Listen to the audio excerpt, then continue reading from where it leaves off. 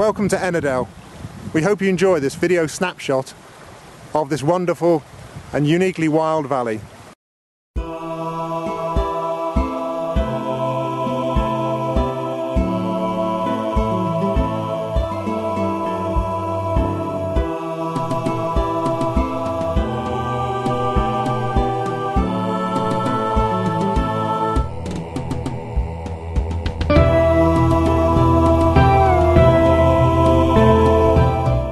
Came to Ennerdale and drove in on a wonderfully sunny day. I thought this place feels really different. It was a long drive in, and just just the view when you first approach on that narrow, twisty road was just absolutely stunning.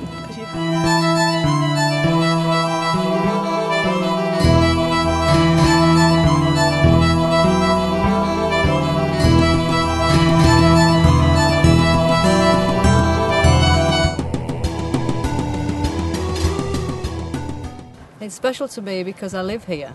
I, I farm the farm behind me here. Uh, my father's farmed it uh, for 40 odd years, and now we're actually farming the environment as well as the sheep.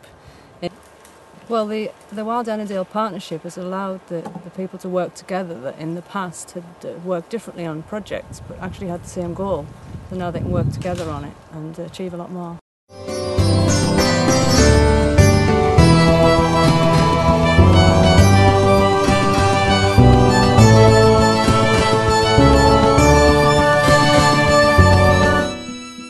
Well, I've been a volunteer for the national park, and this is one of the areas that I would cover within that volunteering. It was just a natural extension to what I already do, and uh, it's absolutely superb.